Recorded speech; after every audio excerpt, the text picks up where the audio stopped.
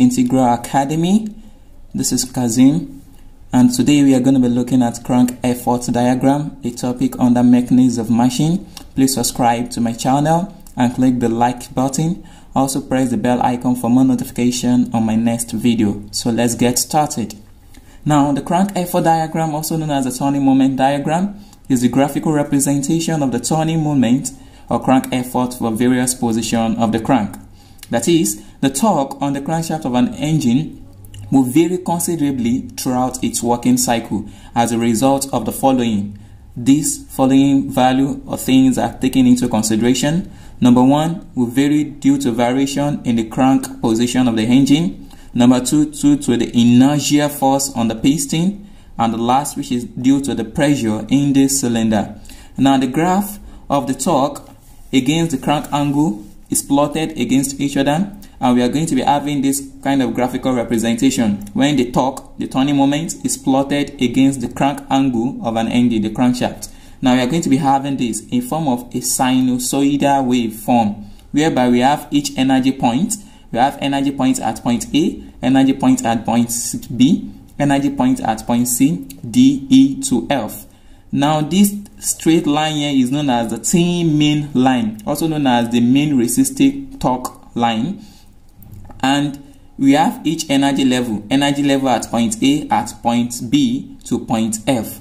Now you need to note that what at the point of intersection of A, B, C, D and F, the engine torque and the load are equal so that there is no acceleration or deceleration of the what of the flywheel. And this, that is, this simply means that the speed of an engine is either maximum or minimum at this point.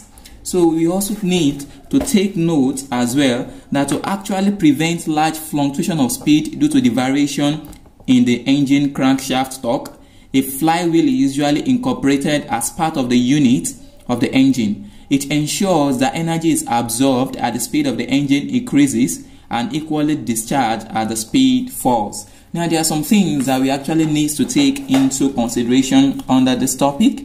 Now, we are going to be looking at the maximum fluctuation of speed.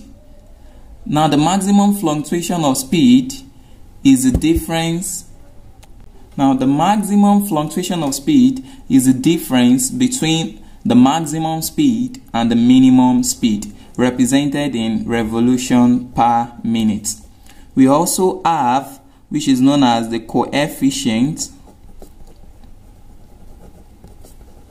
of fluctuation of speed. Coefficient of fluctuation of speed. And this is the difference between the maximum fluctuation of speed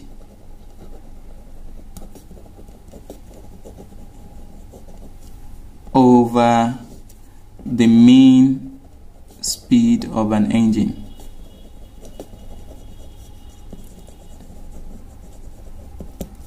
That is, since we know that the maximum fluctuation of speed is n2 minus n1, and for us to have the mean speed of an engine, the mean speed of an engine is given by maximum speed plus minimum speed, everything all over 2.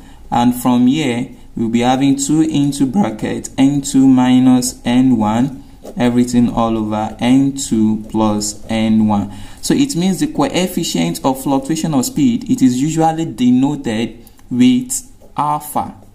It is represented with alpha and is usually expressed in form of percentage. So my alpha or known as cs which means coefficient of fluctuation of speed of an engine will be equals to 2 into bracket n2 minus n1 all over n2 plus n1. Since this one is in rpm, all over rpm, this will cancel this. That means our CS is already represented in percentage. We should try as much as possible to take note of that. Also, when, whenever an engine is not fluctuating, that is, it is moving at a steady rate, we are going to be having what we known as coefficient of steadiness. Coefficient of steadiness. Coefficient of steadiness denoted with what letter M. And coefficient of steadiness is the reciprocal of coefficient of fluctuation of speed of an engine ym equals to 1 all over cs or you can as well write 1 all over alpha they're still talking about the same thing that is coefficient of steadiness is the reciprocal of coefficient of fluctuation of speed of an engine and since we know that cn equals to this therefore my coefficient of steadiness would be n2 plus n1 all over 2 into bracket n2 minus n1. This would be my formula for coefficient of steadiness. Now, we said n1 is equals to where rather where n1 equals to minimum spindle speed n2 equals to maximum spindle speed. Both are represented in rpm revolution per minute. And we have our n which is the mean the mean spindle speed where n is equal to the mean speed will be now be what? Minimum spindle speed plus maximum spindle speed all over 2 here is in form of speed. Similarly if you are to represent it in form of angular velocity angular velocity that is w my w which is my mean angular velocity will be what minimum angular velocity plus maximum angular velocity all over what all over 2 now recall that we say that a flywheel is always incorporated in an engine so as to reduce or to prevent large fluctuation of speed of an engine. And due to that, what does the, what is the work of the flywheel? A flywheel controls the cyclic fluctuation of speed of an engine. The flywheel control the cyclic fluctuation of speed of an engine. So now we are going to be looking at the energy stored in a flywheel. Since we know that whenever a body is in motion, it undergoes kinetic energy. And the kinetic energy is given as half mv square. But here on the flywheel, since we are talking about flywheel, a cyclic movement, a cyclic rotation, the m is going to be replaced with i, where i is second moment inertia. Second moment area of inertia. My v, which is denoting my velocity, linear velocity, will be interchanged with w, which is the angular velocity angular velocity. Now, therefore, my kinetic energy will now be interchanged, will be represented with half I V square. And since we said the speed of an engine tends to fluctuate, it tends to change. That means to, for me to now calculate the net kinetic energy, that is the BE, the energy that is being fluctuated, BE will now be equals to maximum kinetic energy minus minimum kinetic energy. My B means the fluctuated energy of the flywheel will be equals to what is my maximum kinetic energy? That is, since I'm dealing with N1, since my maximum kinetic energy will now be half I V2 square for the maximum minus half I V1 square for the what? For the minimum kinetic.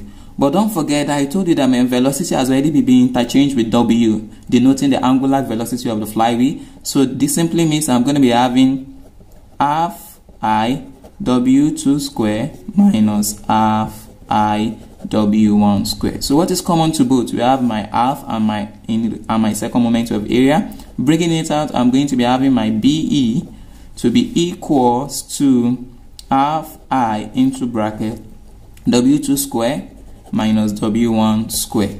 Now we apply what we call difference of 2 square for the power of the angular velocity, difference of 2 square. Applying the formula for difference of 2 square, we are going to be having my BE to be equals to half I into bracket W2 minus W1 W2 plus W1. This is the difference of 2 square. Then I'll have my BE to be equals to I into bracket W2 minus W1 all over W2 plus W1 everything all over 2. That is bringing these two down to the, towards this end here. I'm going to be having this.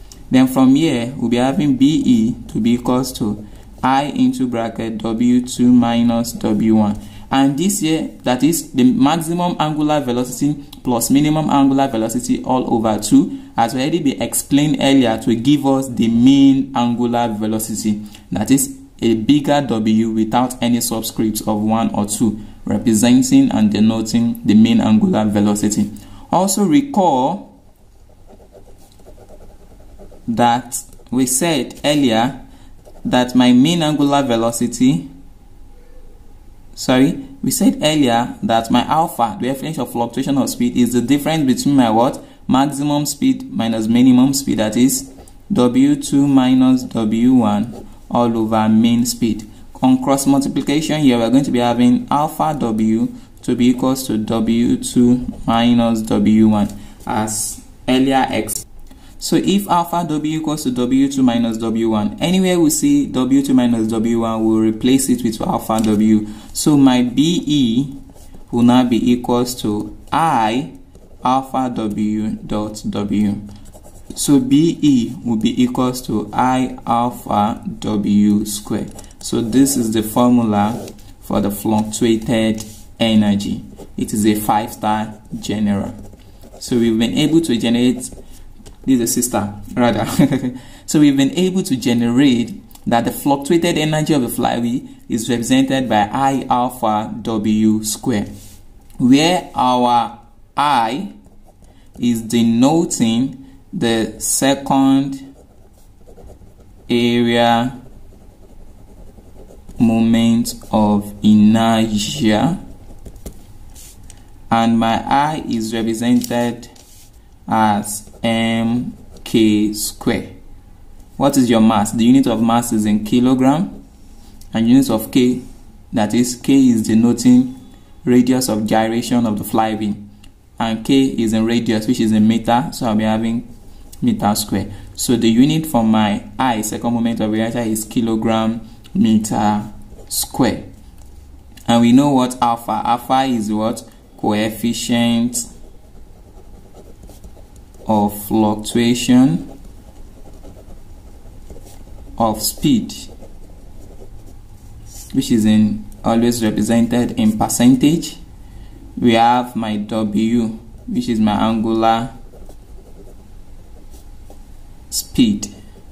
Or my angular velocity and w equals to 2 pi n all over 60 where my n is the what? Is the mean spindle speed. Is the mean spindle speed represented in revolution per minute.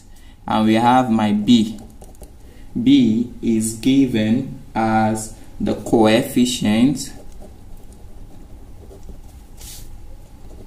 of fluctuation of energy. Coefficient of fluctuation of energy. And my E is given as the energy input to the flywheel or you said the work done per cycle or you said the work done per cycle which is always in Newton meter so now we are going to be talking about the different values different values of I because my I, which is the second moment area of inertia of the flywheel, is going to be affected depending on the type of flywheel we are actually working at. The values of I, since we said I is equals to mk square, my mass multiplied by my radius of gyration of the flywheel, this is the first formula for I. The next formula for I, I told you we have different type of objects.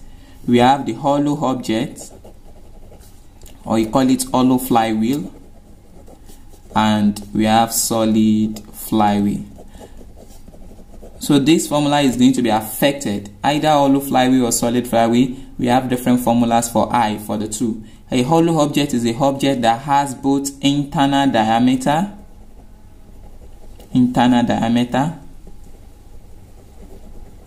external diameter and with a thickness. Why? For a solid flywheel. A solid flywheel only have one diameter. It cannot pass through just a diameter. Just bigger d it does not have internal hole and an external but it has a thickness as well. But for hollow flywheel it has both internal diameter external diameter with a thickness. So now and this is going to be affected by formulas for i. So my first formula for i is i equals to mk square which is also the same thing as mr square. The next formula for i would be m d square all over 8 since i'm only having one d then this is the formula for a what? For a solid flywheel. We have another one which is the i equals to m into bracket outer diameter plus inner diameter square everything all over 8 this is for hollow flywheel. Now another one we need to take note is if density is given in the question. If density is given in the question and we have thickness to be given in the question our formulas for I will change to pi density thickness t raised to power 4 all over 32 this is in case for a solid flywheel. And we also have I equals to pi density thickness internal external diameter raised to power 4 minus internal diameter raised to power 4 everything all over 32 this is for a hollow flywheel. Don't forget if in the question are giving both internal diameter and external diameter then definitely we are going to be applying the formula for hollow flywheel for high for second area. But if we are giving only one diameter then we are going to be applying the formula for solid flywheel so another formula for height that we have is R equals to 2 pi density area R raised to power 3. All these formulas are applied based on the question. So it's either we are given a solid flywheel. It's not going to be stated directly that you are working with a solid flywheel, but it's just going to be asked directly based on the parameters we are given. That's when you will know the type of height that you are going to apply.